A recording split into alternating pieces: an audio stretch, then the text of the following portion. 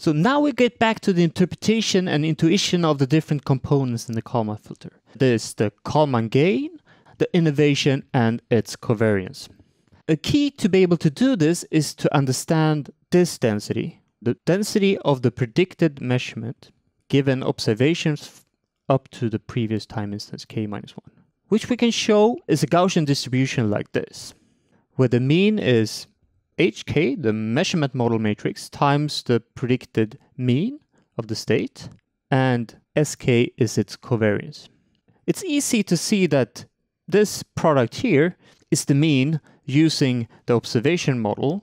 So the observation model for our linear and Gaussian models is just yk equals to hk times xk plus some measurement noise r by taking the expected value of this conditioned on the previous observations.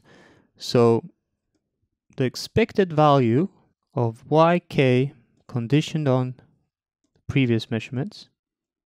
If we exchange yk using this expression here, we simply get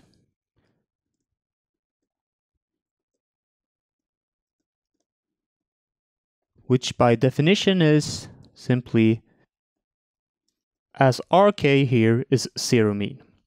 Now we see that the conditional expected value is by definition precisely this.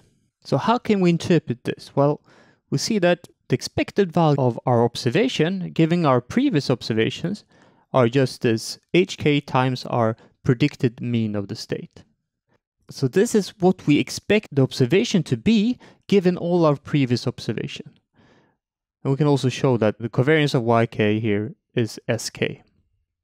So sk describes our uncertainty in this.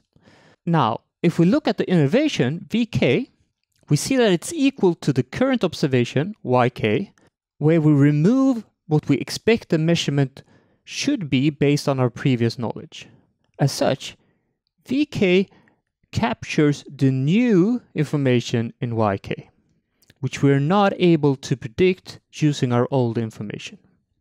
And finally, when we calculate the updated mean, like this, the Kalman gain is the factor which will determine how much we should trust the innovation over our old information in the predicted mean. One can imagine, for example, that if our observations are very noisy, we would like the Kalman gain to be very small, close to zero, such that we do not trust these measurements so much. So this factor here should be close to zero, such our posterior mean is more based on our predicted mean. We end with a self-assessment question where I would like you to think about what are reasonable values for the Kalman gain in some specific scenarios.